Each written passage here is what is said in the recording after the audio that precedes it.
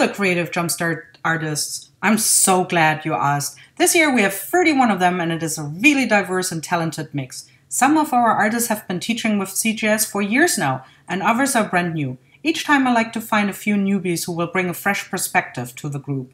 Our theme this year is superpower, so we asked them to share with you their artistic superpower. And wow, is that fun to see that in action too, I tell you. There's so many awesome artists working in their own unique ways. There are art journalers, mixed media artists, watercolorists, collage and assemblage artists, artists who make tiny books, artists who are brilliant sketchers, artists who are experts on color, painters, card makers, and artists who are masters of many media. It is something for everyone and might just introduce you to an entirely new way of creating and making art. So come and join us.